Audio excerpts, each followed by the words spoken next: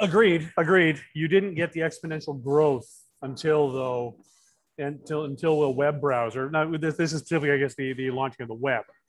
Yeah, the internet was doing well, but it, it went to hundreds of millions of people, largely because of the web, not just email. But re- Yeah. regardless, we, regardless, we need in this space, we need a user interface moment. Um, My fear is we're actually pretty far from it. Yeah, we could be. We could be. Uh, there are so many problems. Um, anyway, uh, I think we can start. Um, and before we go, we have to talk about two things. One is the antitrust policy of the Linux Foundation, which obviously means that we are not engaged in any collusive activities the second is that we there is a code of conduct, which means that even when we uh, disagree with people, we are not disagreeable. Those are the only two rules, and if you don't agree with these, you can probably leave the call. that that's that's what I'm supposed to say. Uh, anyway, Darrell O'Donnell, the man, Jim Sinclair says he agrees to be disagreeable. Well, I don't know about that, but uh, I suspect it's more in the line of a joke than anything else. Um, Darrell O'Donnell, what can I say? He's uh, well known for uh, being in the forefront of the SSI movement, being an early investor in many enterprises that you're familiar with, and also a technologist, uh, written, uh, you know, that seminal paper on digital wallets after having engaged with the community for a long time. Uh, and now part of the chapters in the SSI book by Drummond is by Darrell. And it is my hope that we can uh, march down the chapters uh, or sections, I should say, and have the people present on the different sections. So hopefully that's what we're going to do in the next uh, few sessions. Uh, without saying anything more, I think uh, Darrell is going to take it away and Perfect. I'm gonna, sh- I'll share my screen. Let me know when you're, when you're ready for me to take over there, Vipin. Yeah, just want to say that we are recording this session, so, uh, you know, don't be disagreeable. That's it. You're, you're on, Darrell. Perfect. I'm just, uh, I've got some crazy Zoom action going on. Let me know, are you seeing uh, open system preferences? I have a new, uh, new laptop. Give me one second. It's not allowed to see the screen. That's why. And I'm praying it doesn't say. Okay, I'll be right back into Zoom. I just need to quit and reopen Zoom, not reboot. Be right back.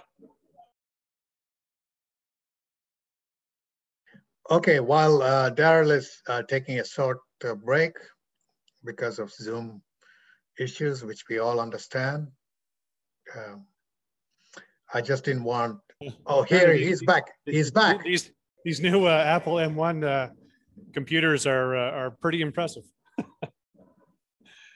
Cool. So I'm going to share my screen here. Okay, perfect. So I've got the, this is a deck that I think some of us have already seen on this particular uh, venue. What I've gone through is because, and I want to say, uh, Mike Brown indicates I'm the OG of Wallets. Uh, Mike is one of the supporters of the project. He's actually, I'll, I'll actually, I'll save a little tidbit for a little bit later of, you know, why we created this, uh, this research project that turned into a monster and, and thus the paper. Um, but this this presentation actually, Vipin, is very very much based on one I think I gave similarly uh, last January, so just a little over a year ago. Um, what's interesting is that the digital wallet report itself. Let me just. Uh, It was actually December 11th, it was the 2019. 2019. So that was about uh, nine months after we released the report. And so it's now been another 13, 14 months. Um, what's interesting is, is to me at least, the bigger picture, the broad strokes of the wallets haven't changed that much. What's really happened is, is updates and learnings and some surprises um, that, that I've found along the way. But quickly, you know, I'm going to go through why we did a study, talk a little bit about the capabilities, and this deck will be available, obviously, recording of the meeting. Talk a bit about the state of where tech is, the business and markets, and then a couple of these updates throughout the deck. You'll see the this uh, particular color font. I've actually got to modified the slides to raise some attention to things that either have changed, been learned, been updated, um, been understood more. So I'll just get right into it.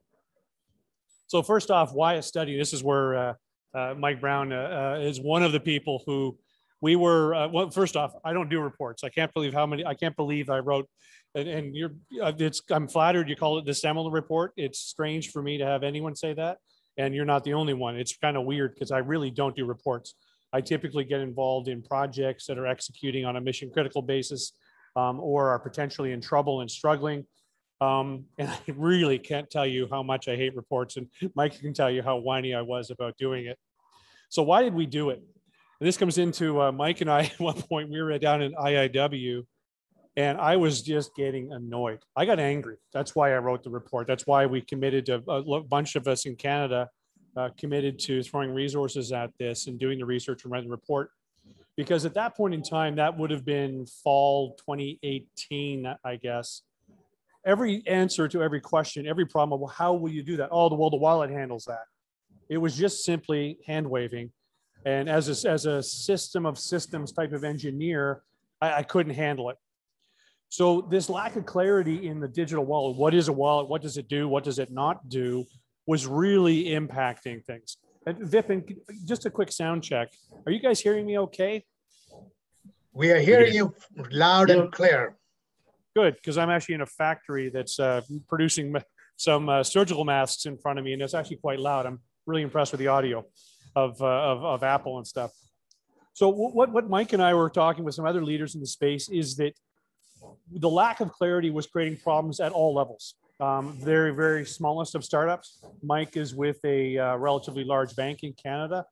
Um, everybody was getting this this this oh the wallet this nefarious wallet thing is going to solve it so really to, for us as an as an engineer mike is both uh, technical and business oriented and everyone else we were talking to was kind of uh, you couldn't really point your finger at all the problems we need to solve so we dove we dove in and just wanted to know where to start what's that bare minimum of, of what what do we need to know about wallets and where does this go so what did we do? We did a bunch of research, the classic uh, IIW Internet Identity Workshop, Rebooting Web of Trust, got involved with a bunch of different leaders around the globe and wrote two reports. And I can't tell you again how much I hate writing reports. The public one, which is what I'm dealing with mostly here, is Creative Commons. It's intended to be used broadly by anybody. Um, you know, would be good to have attribution, but hey, the other side was a private report, which was aimed at the, the, the main sponsors of the project which was okay, cool. Here's the big picture. Now, given your particular business context, here's what makes more sense. I'll be talking about the public side, and really you can just imagine any business is going to have a different flavor of different pieces. So if we look at the wallet capabilities, I'm not going to deal with these too much because they kind of rip through, and we've all seen a bunch of these.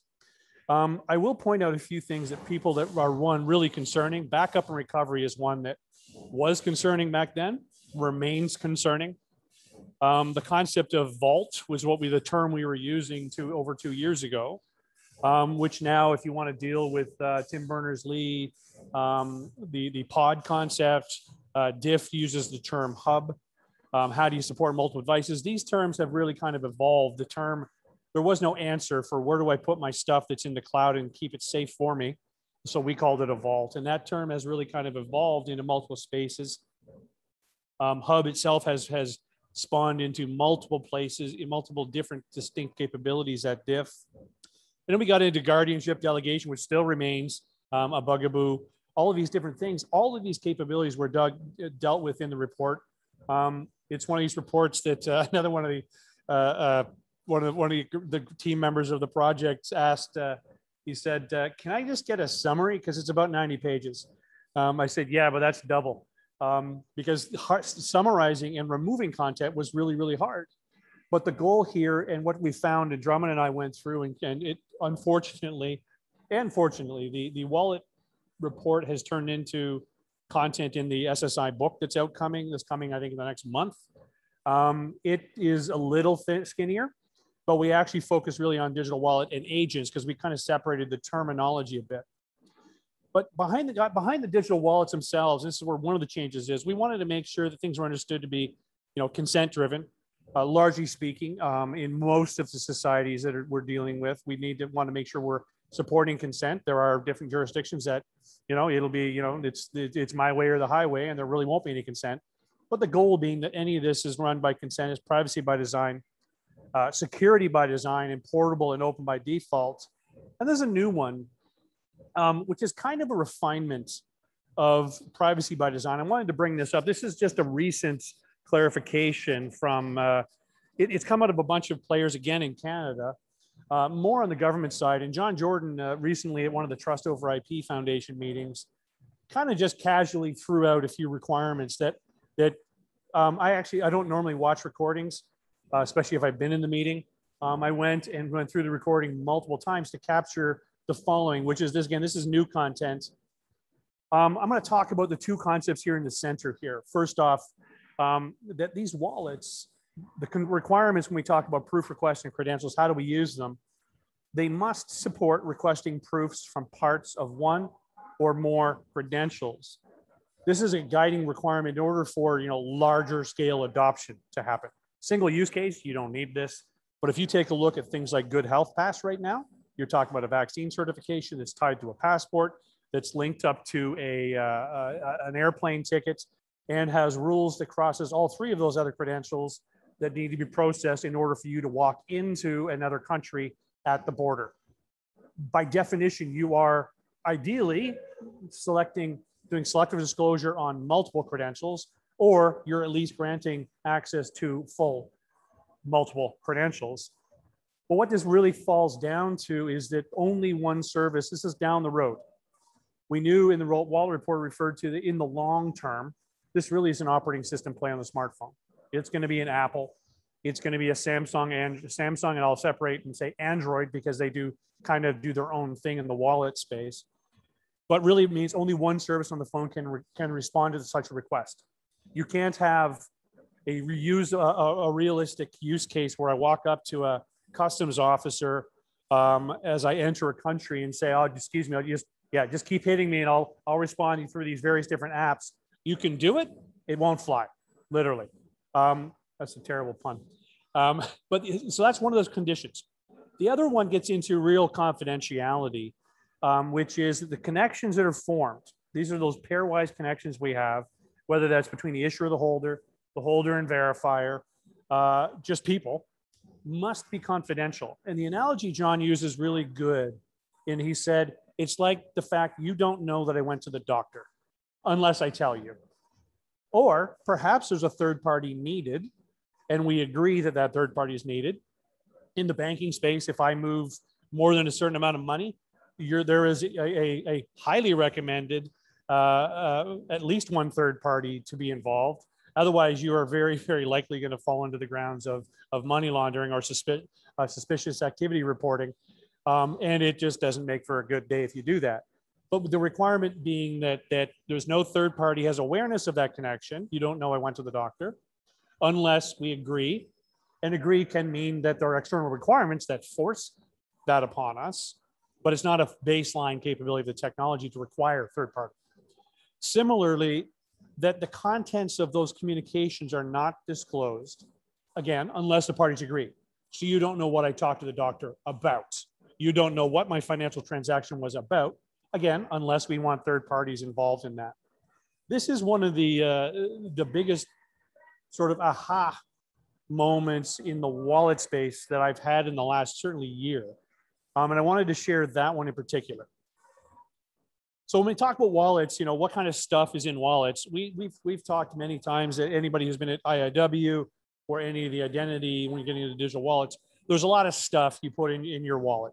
Um, whether that's, uh, you know, receipts, you may buy, you can imagine in the future buying a TV at Best Buy and uh, your Sony TV warranty is automatically assigned, thrown in your wallet beside the receipt. What Sony would love about that is now maybe they have a direct connection with you as a customer. Best Buy may not like that, but they may have to do it.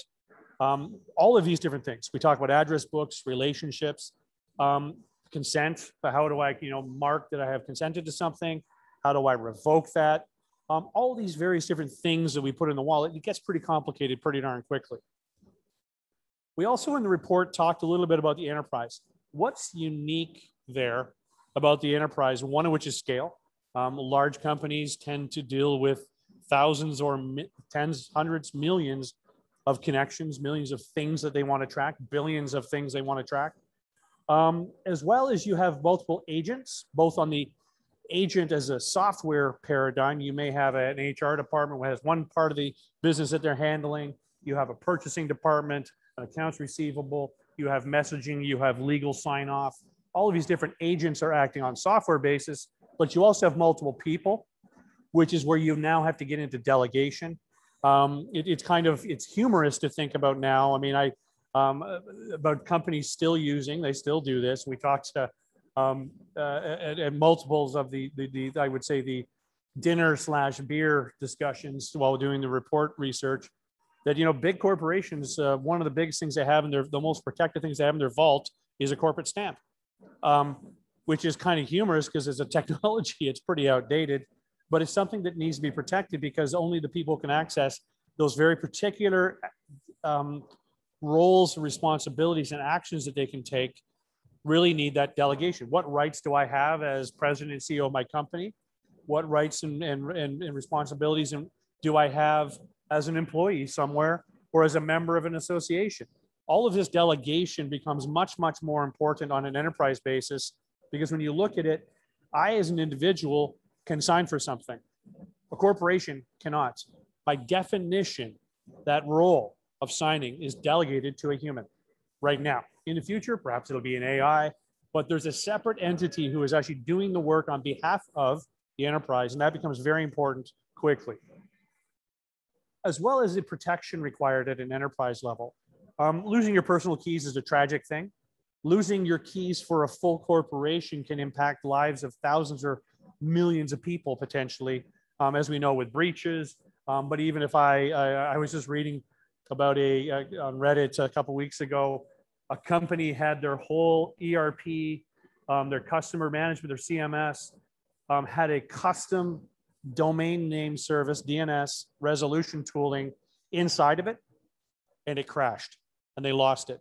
They lost their complete ERP and CMS. They believe the company may die. And this is thousands of people who are employed there you need to protect these things. They need to be backed up. They need to make sure that, you know, backup is not an attack vector, that type of thing. Um, another thing, one thing we didn't cover was um, the initial thinking was this, and this has happened multiple times in multiple different vendors in not just the Sovrin H Hyperledger Aries space, but other places that I've talked to where people were adamant that, um, you know, if you, you, no keys, no coins, that an enterprise must and wants to support the part, hold the private key and do all of the signing actions for their did when they're doing any decentralized identity stuff. We have found multiple people have gone and spent the money to do that so that there's kind of this signing virtual machine that you as a customer have to take care of and feed. Um, and it will do all the signing such that your, your partner, your software as a service partner doesn't know your keys. I have yet to find any enterprise barring, and actually, Jim, you're on the phone, there are healthcare enterprises who don't want that. But I'm still betting there is a third party who actually has that service level agreement and a contract to manage those keys because the customers don't want the complexity. They understand they've already been doing key management in various different aspects. They understand the ramifications of screwing it up, of losing it, of being compromised. What they want is a partner, typically a top tier uh, consultancy type of partner, so they have a throat to choke when something goes wrong. So what's interesting is people have spent the engineering dollars on keeping that wallet completely separate, having the signing capability. When it turns out it's not a, I, I've asked people, how many of you sold? The answer has been zero. to date that I've heard. We got into um, wallets and agents. This is another area where the the the SSA, and it's funny because I, I went through the report and I forgot to go through the book, but the book actually kind of really brought the agents and wallets into what I would call a kind of a peer, a top level relationship. So as the agents are just as, and I think actually in time, they become even more important. I want wallets to get really boring, unsexy. Um, when we talk about different types of agents, you can see on the right side here, anything from messaging to privacy to, you know, home delivery, your health agent, reputation management, all of these different agents are going to be there. But one of the key things we also brought up was, you know, the term that I've used in blog posts and, and in, in tweets and stuff is who is in your wallet? Because this there's this anathema, you know, it's my keys, it's my wallet. I don't want anyone in there. And I that's great. Love it. Take care of your life that way. But right now, I don't have the time or the or the inkling to go and manage my own health records when I can have somebody do that. I uh, have digital assets, things I want to protect and make sure that they're backed up. I would love to be able to tap a bank or a credit union for that type of thing because they have the right infrastructure. So how do they join into the wallet? But additionally, what about things like a break glass capability? For, care, for clarity, this is the break glass in case of emergency. Um, there's a lot of uh, electronic health record solutions that um, if somebody is not able to respond, either they don't have the mental capacity, they're unconscious, um, there is sort of a bare minimum set of records that are typically available to someone when and if things have gone horribly wrong and you can't answer the question, do you mind if we look at your files, sir or ma'am? That capability is pretty key and really does start to become and require a third party to say, yes, we're in that break glass scenario. Um, there are also insurance people who may be involved in monitoring some of my assets. People who just monitor things in general. We may have auditors, especially when you get into a corporate capability. If I have a digital signing capability that is completely unmonitored, I've got a serious compliance problem. Um, I need to have logging of that. So there's a requirement to be able to not not not not make it mandatory, but be able to bring these people into your wallet, these different services, so that you can either farm it out to somebody. You want to be able to reclaim it, obviously, but to actually bring those folks in to me, the, the message I've had over the past year and a half, uh, two years since the report came out, is that agents are becoming more and more important. Um, right now, we're still at the very most basic of agents. If you take a look in the Hyperledger space itself, there's uh, recently a couple groups released, uh, you know, a new version of a mediator agent. That's a really basic agent. You know, basic answer the question, "Where's my phone? Send this to it," um, as opposed to you know doing anything real um, intensive of, of acting on my behalf, merging things, that type of thing. So talk a little bit about the state of the tech, of the tech the art of the possible and talk about um, successes. And in, in the old report, I really had very few outside of the lab. There really were two years ago, none.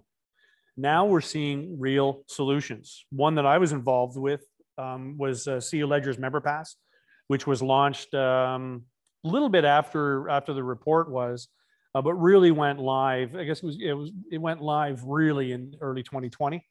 Um, now they've got uh, I think they're approaching 100,000 live connections to real uh, credit union members, and they have uh, something like three million pros- prospects, and the and the feedback thus far has been fantastic. But it is the most basic of uses. We're seeing more and more of those. Um, we're seeing again the agents. The Hyperledger Aries is really one of the state of the tech, art of the possible that has really kind of come into its own over the past little while. Um, it has become uh, helpful for many different groups to, to hit it in various different forms. We've even seen um, some Hyperledger Aries work that's not anchoring down to Indy, it's anchoring down to different networks, which is an awesome interoperability thing. But also, where are things working and failing right now? Um, right now, the single purpose use cases are really the only cases I'm seeing in the wild of digital wallets. When I say single purpose use case, if I take a look at, uh, as it, just as an example, one of my clients at CU Ledger with the Member Pass, it was basically Member Pass is a cloned, that's a copy of Evernym's Connect Me with a bunch of features removed. You can't uh, browse credentials. You can't browse connections unless you have more than one credential and more than one connection, which I believe would probably be measured somewhere on the order of 0.001% if not lower, of the member pass users. They don't need it. They don't want it. They don't want to know about the complexity of what's a connection. They don't want to know what's a complexity, what's a credential, because right now there's not enough value for them. So the biggest thing was that that's even stronger than I thought it would be. I've also got cases, what I would call hidden wallets. So Member Pass is kind of one of them. We do speak to it. The credit unions speak to it with members, but they don't know that it's using this thing called self-sovereign identity. That SSI term has not been raised in the credit union space in some time. It adds absolutely no value to the casual user to understand that, oh, it's a digital wallet with self-sovereign identity. You control the. They, they get that from the user experience. They don't need or care, which is kind of cool because we don't need to justify things anymore. That baseline we're using, it's just there. Um, where is it really hard? To me, this is the learning has been that the user experience is brutal, um, which is why if you take a look at MemberPass, it is a dumbed down, dead, simple, almost trivialized as an engineer developer, reform developer. It's trivialized version of Connect Me, but it's meeting the need. What's really hard? backup and recovery. Um, to the point that we say, okay, one of the features to turn off on the member pass side was turn off backup. Backup, depending on how you do it, is an attack vector.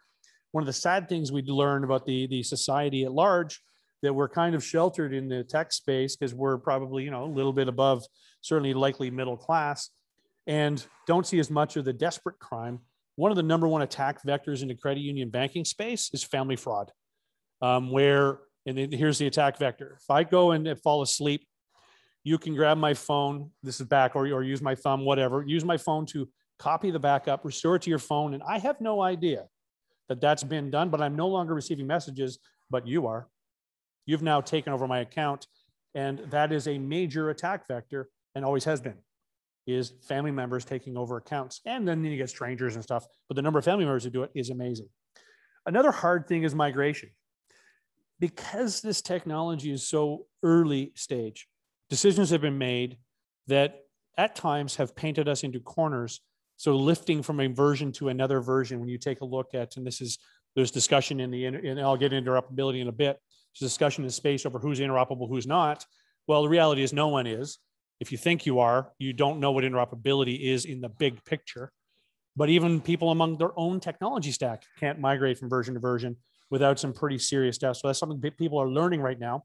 I believe largely overcoming, but it was a it was a it was a learning in the space that was like, oh yeah, that was a pretty short-sighted decision we made. How do we un how do we back it up and then move away from it? Interop, as I mentioned, is a little hard. I'm going to talk about that in a little bit. Um, as far as where the R&D is required, all of these pieces still um, really do warrant R&D whether it be you know capital R academic research or little d versus full commercial development. All of these are sitting in various different places. Let's talk a little bit about standards. This is one that uh, I meant to, I'm going to cover in a second in more detail. It was one of the one of the surprises that I guess, and I realized when I reread it, I, I wasn't strong enough on my statements. I'm actually going to post a new blog article on what I've been saying as opposed to what I've written on protocol evolution and where the standards are really, where we really are as a space. Um, the standards on, on, on assurance levels was key to understand. Uh, the Pan-Canadian Trust Framework has really, really, that's a big change. I should have marked that in one in red. It has done a couple things. One at the national standard level, what's called the CIO Strategy Council.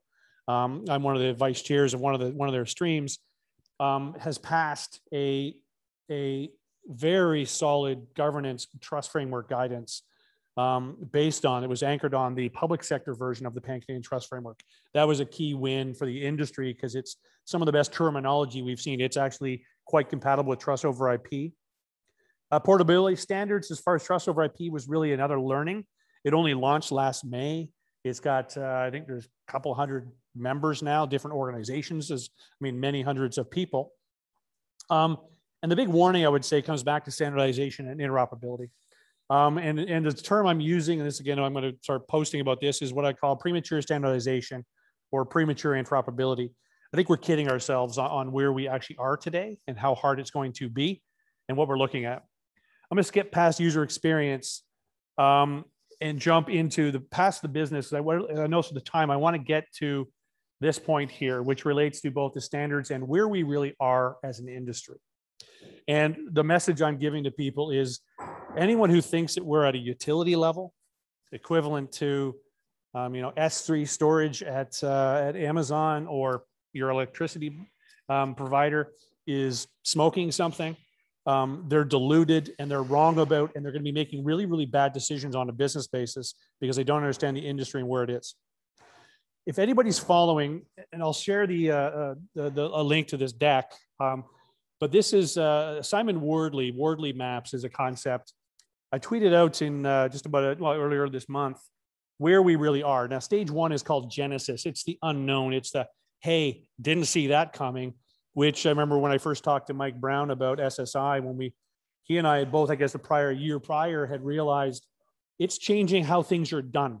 It came out of nowhere. No one has a clue. And let's be clear, we still don't.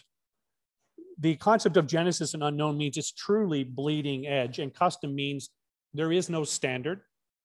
There's no uh, obvious winner in the market and this is what he, uh, Simon Wardley's done a great job of, of, delineating this. And I went through in each of his characteristics of where we are. There isn't a single one where we're solidly in two, meaning it's custom, which is still custom is a uh, a very exciting startup phase of an industry, but it is not like Salesforce is full utility now. Um, Ten years ago, it was still product. The whole CRM space was product and before that, it was just a bunch of databases we'd all written. But this is where the thinking is. If you think you're in um, a product or utility phase, which is really the thing, the strategies you're using are wrong. If you recognize where you really are, if you're going to go from A to B, it's really important to know where B is. It is far more important to know where A is. So don't kid yourself about where we are, is my biggest message. And I've probably been harping on that for the last, well, probably since the report hit the ground. And just speaking quickly to what I call premature standardization and interoperability. Um, there's my view of the world is that when we're looking at this kind of a technology, we're really looking at isolated proprietary protocols. Trust over IP is working to create what I would call a community protocol. Um, there's very certain decisions being made. There are certain design, uh, dominant design patterns emerging but we still haven't gone all the way to the various different, there are multiple standards, specifications that need to be created that go into the full formal, whether trust over IP, which is an SDO and can produce it, or we push some certain parts over to IETF, OASIS, W3C, etc. These things are sitting here at this isolated and community level, not where people think they are. And the amount of work to get there is heavy. It also is driven by more and more adoption, um, which means it gets slower because you can't change everybody all at once. But I think where a lot people are not understanding how far and hard this is. Um, I was involved in the breaking of the back of what I would call proprietary uh, geospatial, proprietary GIS back in the 90s. Um, and it was a Herculean effort. The results, though, were I know on the defense space, uh, the defense and intelligence space, especially the classified world, saw cost savings of 10x. What was costing them a million dollars suddenly cost less than $100,000 in that kind of a ratio for data, for imagery, um, because we ended up creating uh, what it was called, you know, specifications and interoperability test suites, which has already started at Trust over IP uh, and the Hyperledger Aries project. They're kind of merging together to create the interoperability test suite.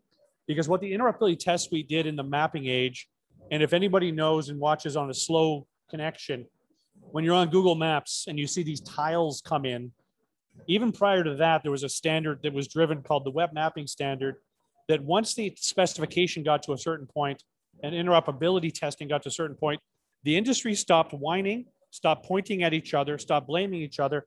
And as I mentioned, the costs of data fell by 10x, 90% reduction in cost. That's when you change the game. It's also when you know I'm no longer on the bleeding edge of things as a company, not knowing what surprise I'm going to hit. There's an ex- there's an answer to exactly what does good enough look like. So that's a lot of work we still have to do ahead of us. Then the Trust over IP Foundation, I raised that here because it's it's new. We launched in May. Um, it, it came out of a bunch of the work in various different spaces, including deeply and Sovrin, that that we knew that there needed to be somebody focused on the bigger picture.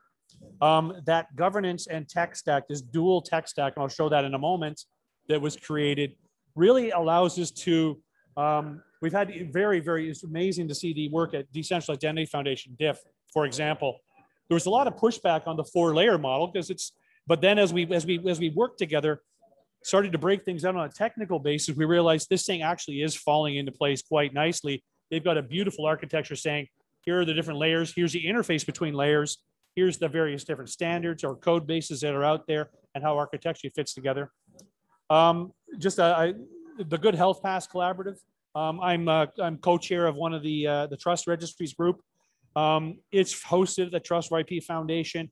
This is pretty much where a lot of the governance and the big picture tech stack work has really moved over. Um, Hyperledger Aries, as an example, in, the, in this particular group, um, the business side of it, the governance side of it's there uh, over at Trust over IP. And Hyperledger Aries is really where the code, uh, the, the, the test suite sitting there. But the idea as you go through Trust over IP, and again, this is probably the biggest change um, to the wallet, the agent space, is this consistent terminology that we can use. What is and where does an agent fit? Where does a trust registry fit? Whose role? Who's a governance authority at, at which particular layer? This started to really clear up a lot of the questions that were out there. That's it for me, folks. Any questions, I'd be happy to answer or any, any input. Don't feel shy. Oh, Sean has got his hand up already. Darrell, great deck. Uh, thank you for sharing that. I've been out of the game for about, well, rooting from the stands, but out of the game for about almost two years now.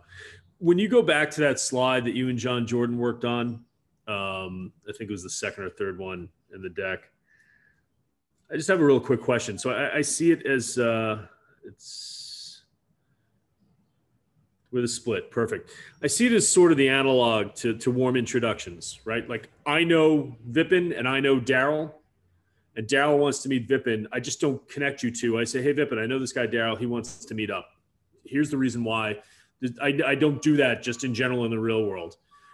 Does this open up though, you know, in this idea that um, connections should be aware of the connection, the parties need to agree.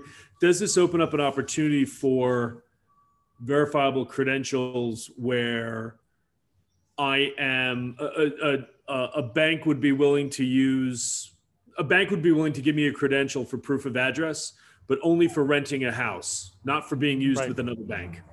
Yep. Or my airline would give me a credential for the number of frequent flyer miles, but the rule set behind it, the terms and conditions they'd be willing to apply would include you can use these, you can share these miles with anybody but another airline um, it, it, is there sort of an overlay of rules of use or terms of use that you're seeing there?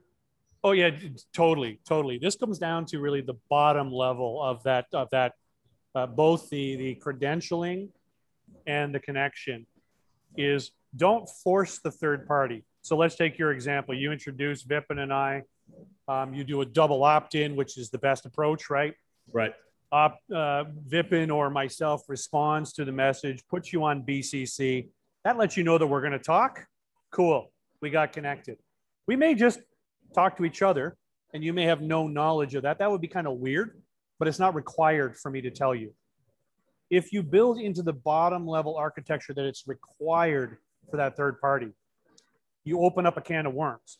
If you allow for a third party, and I love the idea of, you know, that that's, and, and Mike would tell you it's the telco that does the address, but they might be willing for a good customer to do a rental credential that has very specific rules that say for the purposes of rental, yes. For the purposes of moving money, no. right. Like what's their risk yep. tolerance, which they would allow 100%. Yep. Exactly. And that would require um, more. That would require more than potentially, you know, uh, multiple credentials and or multiple connections. But at the base level, you're not enforcing a third party in the play. That's all. So not awesome. it's not excluding the third party. It's saying you're welcome if you're welcome. You're not required though. No, thank, thank you for that. And the, the only other question I have is around this. Uh, you mentioned agents later on the deck. Is there a possibility based on a relationship that I create that I'd be forced to use an agent, like an audit, an agent for auditing, for example? Oh, I could see, I could see, uh, actually, yes. Okay, uh. Mike, I, I, believe I can speak to this or generically speaking. Uh, there are banks that have uh, that will bank companies that are mining crypto. with a caveat that says you will tell us your wallet address and we are applying a service to monitor that address because we want to tell you if and when you're getting dirty coin. So, you, Like you can- anything else, there's can always choose to enter into that relationship or not. Got it. exactly. If you, now one would say if there's only one bank in the country, well, it's kind of coercive. That said, you don't have to do it. There's no one with a gun to your head. I would say there will be regimes there where there is no option. You will use this wallet and it has these agents you likely don't even know. But if you look at the data moving around, you can probably figure, oh, okay, the state has an agent in there. That's my life. But I'm not, that's that's a different world than we're than what we're talking about here, I think. And also, you end up, you know, you, you on this slide, you say no third party has awareness of a connection unless the parties agree. One of the initial sort of big benefits of self sovereign identity as a concept was uh, correlation resistant, but not unless I put them together, right? Like if I'm going to make a compound proof for getting a new apartment, which includes data from my bank, my last, uh, my my last landlord, and my electric company if they make it a requirement that they know the other connections in the proof, they're gonna that would kind of break, or at least it's differential sort of. Yeah, and yeah, and this gets into some of the work we're actually doing at the Good Health Pass, where you can imagine a situation where someone says, uh, "I need to know it was signed by your bank, and I need to know which bank it is." Over time, I think there'll be a list of bona fide banks. I know where the list of bona fide credit unions is in the U.S. It's at MemberPass.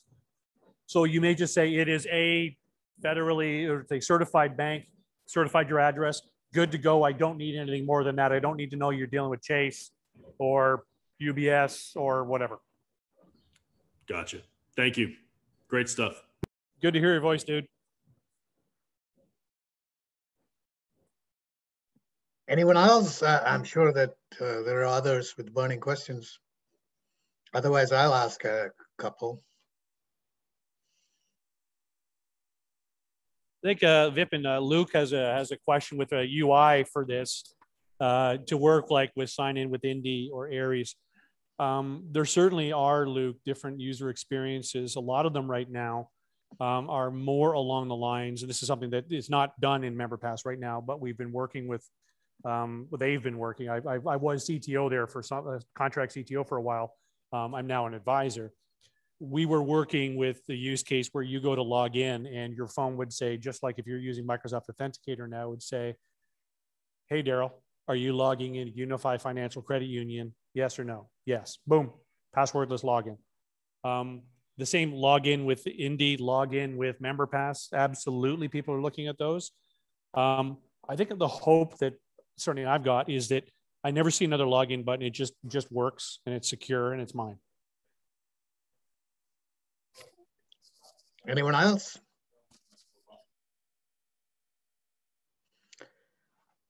Okay, um, I have a couple, uh, you know, let's say observations. First thing is, last time we presented, we were very much on the uh, wallets for credentials related to identity.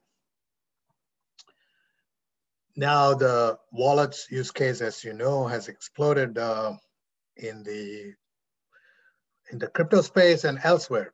I mean, it is the UX uh, that that is needed. And you mentioned a couple, like for example, the healthcare.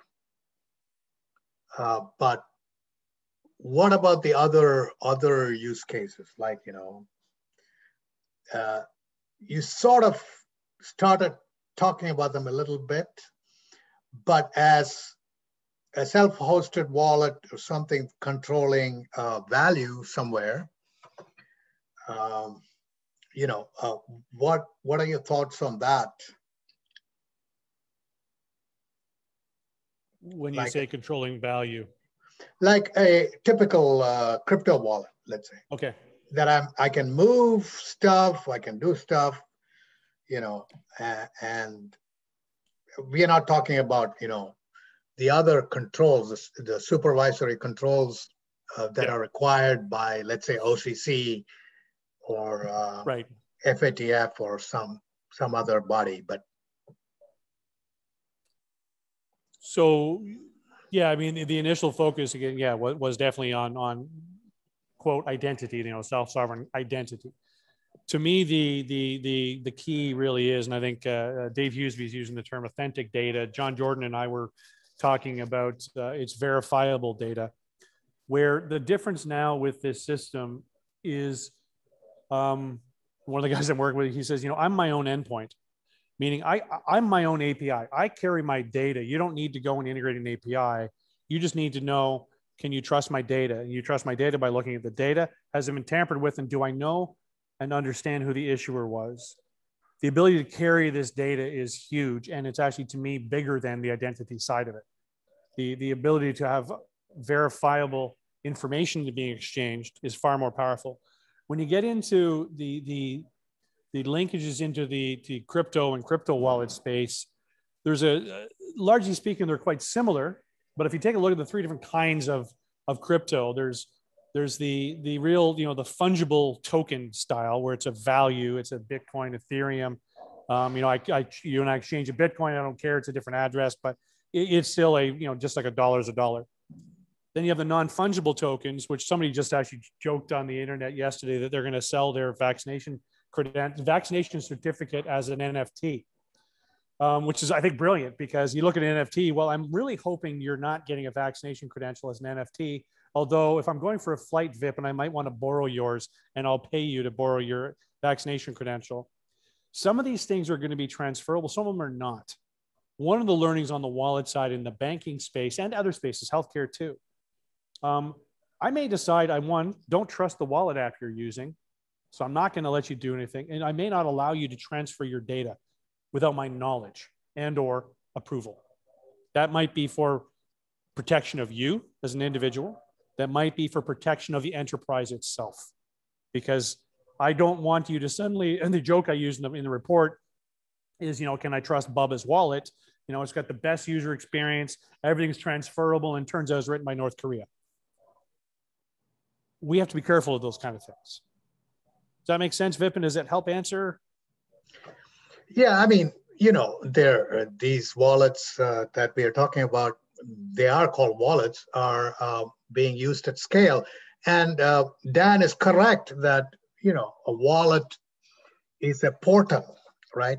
I mean, basically, uh, in some sense, it's a portal. In some sense, it controls um, access to some credentials. Um, so there's there's you know a mix of things in a wallet. I mean, wallet uh, in the beginning was just to probably to store gold or money, which actually had the actual thing in it. But uh, uh, when you use a card, for example, you're it's more of a more of a portal into your credit uh, so it is, you know, you you holding this credential, this physical credential that can let you into your credit. And of course, uh, the same applies when you're when you're moving value on a blockchain. It is some kind of a a, a, a way to a key to unlock things. Um, so you know when the wallet is uh, got all these different dimensions, it's very difficult to uh, talk about it, right? I mean, you, you, yeah, exactly. That is the stuff in a wallet. Um, nice about that wallet, it's flexible, as you can see. Yeah. And the way you use that wallet could be different than the way I do, which yeah. is really cool. Yeah, sure. And, and, and Dan also Dan Dan also raised you know the wallet. If you look at the pure the the actually the opening of the wallet report and the opening of the the chapter in the book is developers may say a wallet is really about the keys. The reality is that's not what an Apple wallet is. That is not what a Samsung and Android wallet is. That's what the market thinks. It's it's just my digital stuff on my phone. Um, the developers may call this is very particular wallet. We actually delineate that in both report and the, uh, the, the chapter because I think we do ourselves a disservice when we're very very focused on what I would call wallet storage. And there's a diagram in the thing. that the terminology we use is pretty tough. But Dan, I'd love to follow up with you on that because reality is we don't have a definition and the market defines it for us. Well, I wasn't saying that it is one or the other. I was just saying that it's, Yeah. it's got a multi-dimensional, uh, you know, um, let's say a footprint, right? I mean, it is, it's, it's many things to many people. Uh, I mean, if you think about uh, the fairy tales with the wallet, uh, you know, that's where you keep your uh, apples so that Yep. so that you can feed the dragon on the way or whatever, you know. Yep. Hey, hey, Vipin, uh, Mike actually asked a really neat question here. I just noticed that's uh, where do we see the state of wallets interact with multiple networks? Are most still aligned with a single network or good examples of merging to support more than one? And if so, is there a model for sharing credentials across networks? Um, I'll, I'll say in, in a couple of things, the, the interacting with multiple networks is a hard, absolute requirement if you want to have any kind of uh, uh, a generic wallet. A single use where you don't even know you have a wallet, I don't know if that really matters. Um, if you decide to support multiple networks, great, but I don't know the user will ever notice and or care. As far as sharing credentials across networks, that's an interesting space that it comes down to, are you looking to move and re-anchor something? Or is it like I take it, if we take, you know, casual discussions in with some people in, in, in, in, in government, you know, you know, where will they potentially long-term, not now, uh, support writing a digital passport to? they may say in time, hey, yeah, we will anchor down to the following seven networks. And we're working on networks eight, nine, and 10. Anything beyond that, go pound sand. We don't support them. I think we're going to see a power law uh, uh, where there's a l- number of very large networks and a lot of smaller, more discrete ones. And you're going to have to support N networks, and N must be greater than one. Okay. Uh, I mean, again, coming back to a physical wallet, it does support multiple networks. I can have a Visa card, I can have a MasterCard, I can have, you know, various things. So there, there's bound to be uh, sort of parallel drawn between a, a, a, regular wallet and digital wallet, and we have to be ready to answer those questions. And Jim seems to have his hand up, so I'm going to. Oh, um, yeah. So the I, I not Jim Mason, but Jim Sinclair. I'm sorry. Oh, sure. Jim. Go ahead. Sorry. Uh, wait, if it's, if it's Jim Sinclair, I'm going to have to go. okay, he, he lowered his hand, so I, I oh. guess. His, his oh, yeah, I uh, no, I just wanted to add real quick uh, Darrell's comments as well. The discussion in general has been great on this issue of multiple credentials, multiple wallets. To put it in the good health pass perspective, our concern is that you get your vaccine in Cleveland, you get on your Southwest flight in Cleveland to fly to LAX, to get on your Singapore air flight to fly to Singapore and go to your Marriott.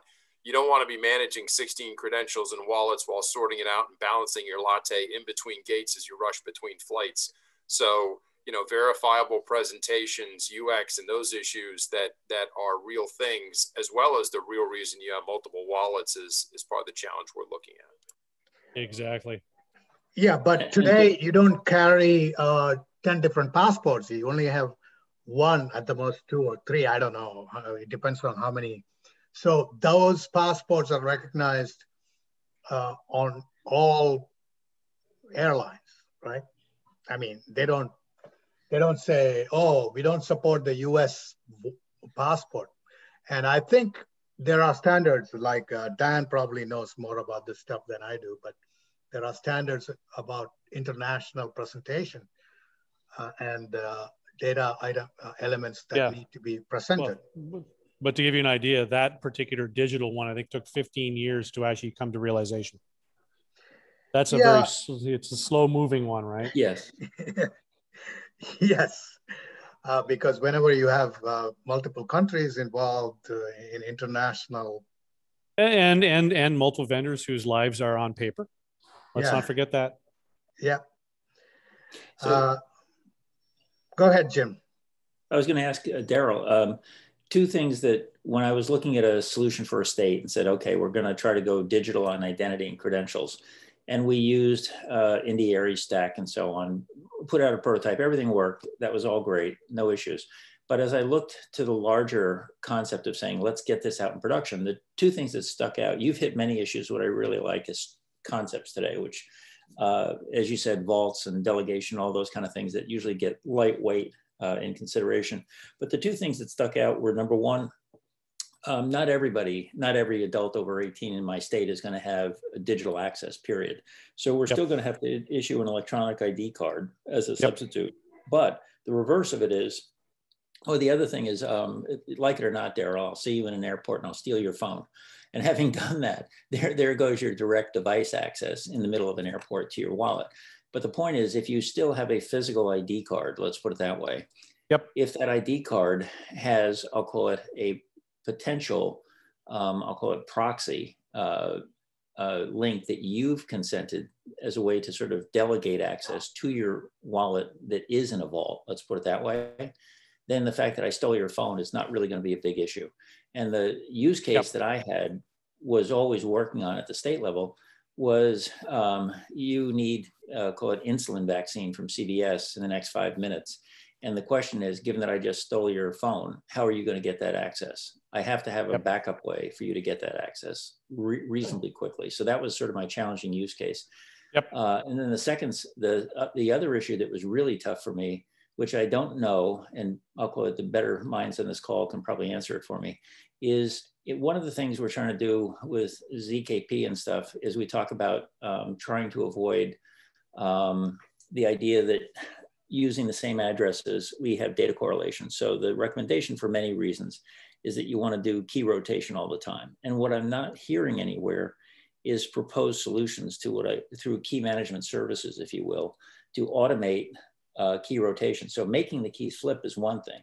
Saying, wait a minute, can I get the history of my prescriptions across different keys? Um, yeah. How am I doing that? I don't really yep. see a lot of stuff showing up on that.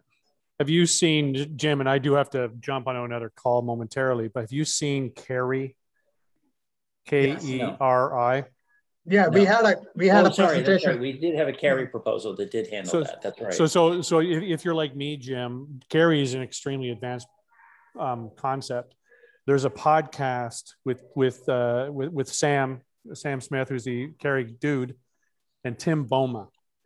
Um, yeah, called uh, Definitely Identity. Actually, he it had is, a, he, he had a presentation right here, where where yes, he know, did. Yeah, and, and Sam, Sam, Sam, or, or or Sam did. Sam, Sam. Yeah, the reason I'm recommending the podcast with Tim is that I've seen Sam present, I've read some of Sam's material, and I didn't really, I didn't really grok it until I listened to that mm-hmm. podcast. Okay. And I found it. I, I was just like, oh my god, this is lightning in a bottle. Now, yeah, it's early stage lightning in a bottle. okay. Yeah. Thanks a lot. It was the forward key stuff that uh, really stood out.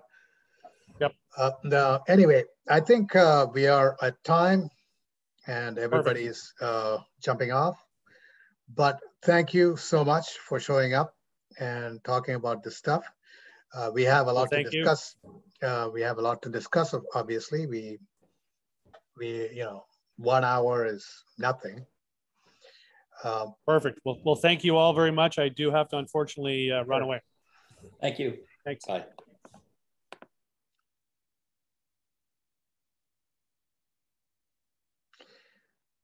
So I'm going to end the meeting. Thank you for showing up. Uh, Stefan, um, Sid, various people. I'm going to turn off the, um, uh, you know, the Zoom call. Okay, thanks. Thanks, Vipin. Ste Stefan, we have to talk.